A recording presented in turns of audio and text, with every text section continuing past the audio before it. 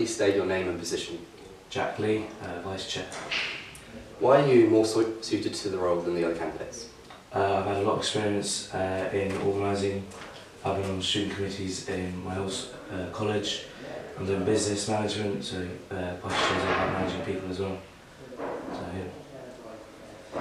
Uh, what makes a good vice chair? Uh, versatility, being able to get involved in every aspect of society. Uh, obviously organisation, confidence, obviously all I think I have. So. Um, name all 19 positions on the committee. Uh, so hall chair, vice chair, two, two rag, sorry, yeah, two rag, two action, two social, two sport, one stash, three media. That was count. That's 13. That's thirteen. Uh, treasurer. Uh, the warden, is he, is he really? No. uh,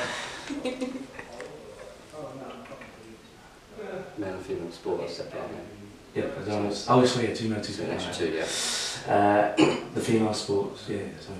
Um,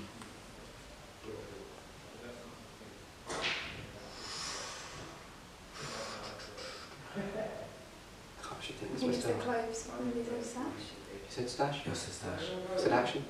Two Yeah, I action, feel yeah. Like it. I feel like those Uh, okay. Um, what does the vice chair actually do? She t- well, uh, Kat takes minutes of the meeting, sends them out uh, via email, uh, helps organise pressures. Uh, she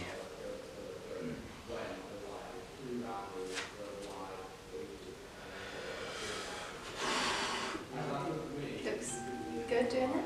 Looks good doing it. she doesn't do a lot else, let's be real. Yeah. Right, awesome. Thank you Okay, for thank you very much. thank you.